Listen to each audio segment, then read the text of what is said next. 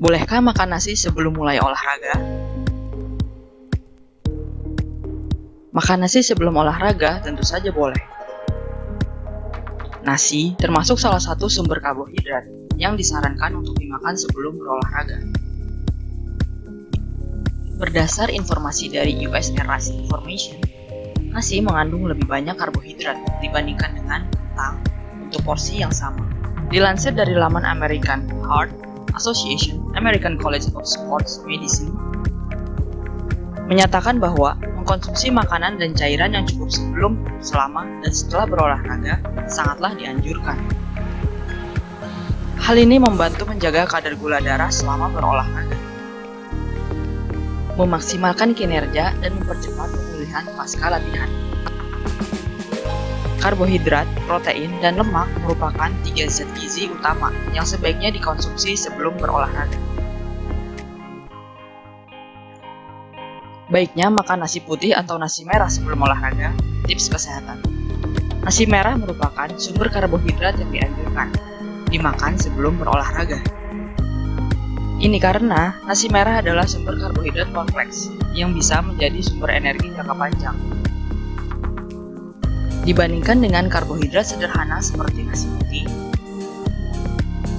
Nasi merah diserap oleh tubuh dengan lebih lambat. Pasalnya, nasi merah memiliki indeks glikemik rendah dan kadar serat yang cukup tinggi.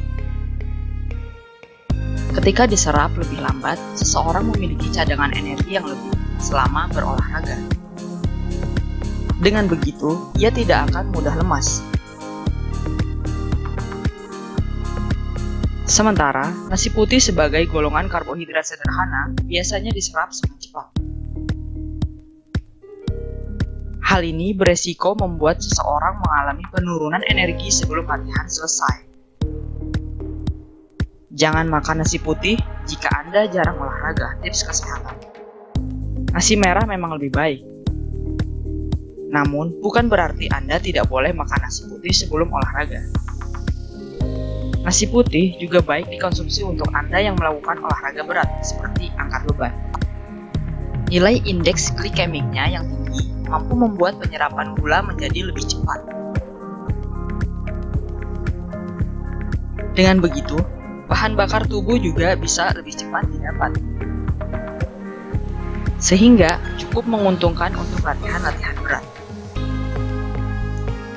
Selain itu, nasi putih juga dianggap aman dikonsumsi oleh siapa pun, karena tidak akan menimbulkan gejala alergi atau masalah pencernaan.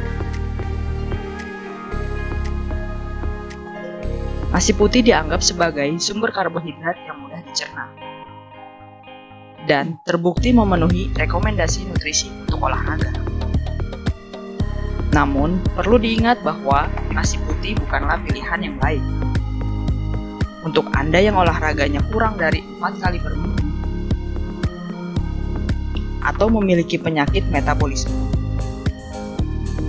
Sebaiknya makanlah nasi merah sebagai makanan sehat dan padat nutrisi agar tubuh tetap bugar selama dan setelah berolahraga.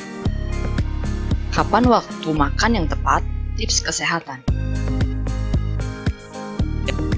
Agar pencernaan tak terganggu, Usahakan untuk makan nasi plus lauknya 2-3 jam sebelum berolahraga. Tujuannya agar tubuh memiliki waktu cukup untuk mencerna makanan yang nantinya akan digunakan sebagai sumber energi.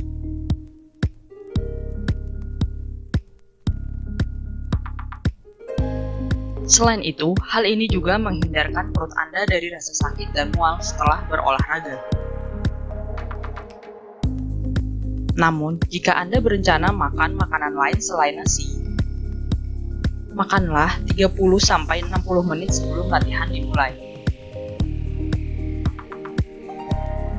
Jika Anda hanya punya waktu 5-10 menit, makanlah buah seperti pisang atau apel sebagai pengganjal perut.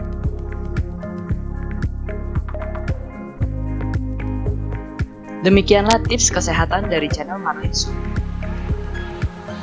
mengenai bolehkah makan nasi sebelum mulai olahraga.